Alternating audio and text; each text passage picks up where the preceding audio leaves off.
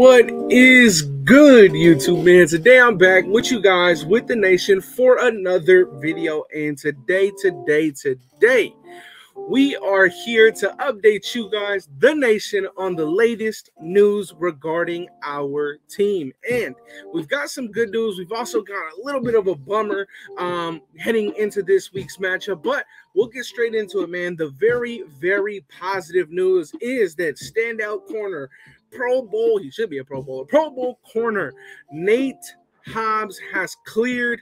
Thank goodness he has cleared concussion protocols as of yesterday. So, this, my friends, is a massive, massive weight lifted off of our shoulders. I simply couldn't imagine our defense without the heart and soul, the heartbeat um, of Nate Hobbs on this defense. He has been absolutely lights out um, in his NFL career, and he has upped it in his second year of his career. So shout out to Nate Hobbs. He's again done the unthinkable, cleared concussion protocols. Uh, we know that that's a very touchy subject in the NFL right now with everything going on across the league. But shout out to Nate Hobbs. But like I was saying, a little bit of a bummer in this uh, case because, as reported earlier in this week, we did find out that Sam Webb, the undrafted free agent out of West Virginia, who had a good game last week, was expected to start on the outside. Um, whether Nate Hobbs was going to play or wasn't going to play. Now, the reason why this sucks a little bit is because as of yesterday, he has been finalized as questionable for this week's matchup. Now, it could be worse. He could be as doubtful or out, but um, he has been limited throughout this entire week of practice with a hamstring injury. Of course, we know about uh, Ya-Sin's injury that he's dealing with to his knee. He's also been limited all throughout practice this week. We don't know when we're getting Anthony Aver back, so we know that the cornerback room is a little bit thin. And if um, Mr. Sam Webb isn't able to go, it only gets thinner. Now, Nickell Robey-Coleman was elevated for tomorrow's game. Um, we did also elevate the 4-3 speed slot corner that we picked up from the Jets. So he's elevated for tomorrow's game as well. But if Sam Webb is not able to go, that does mean that Amik Robertson will probably have to line up on the outside against Courtland Sutton. And if you guys know, Courtland Sutton's about six foot three.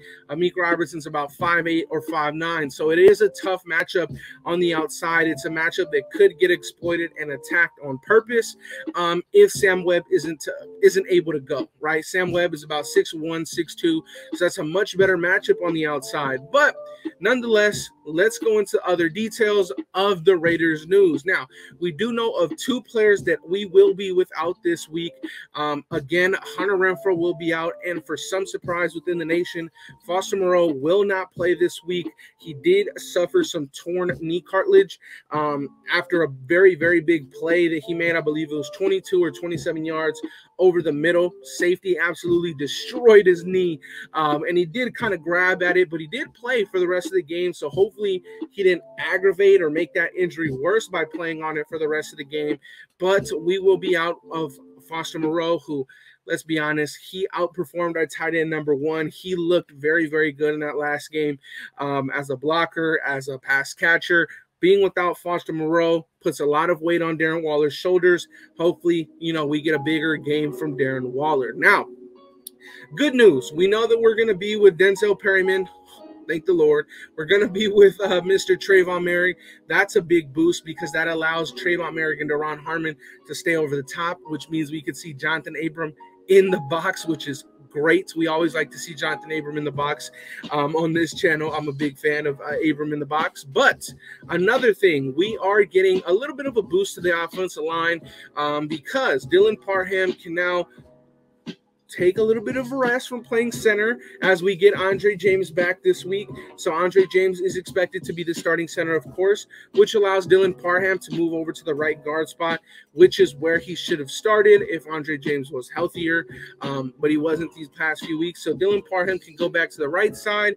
And surprise, surprise, Alex Bars, he gets um, signed to the active roster, which means that he'll probably be starting tomorrow because he did pretty damn good.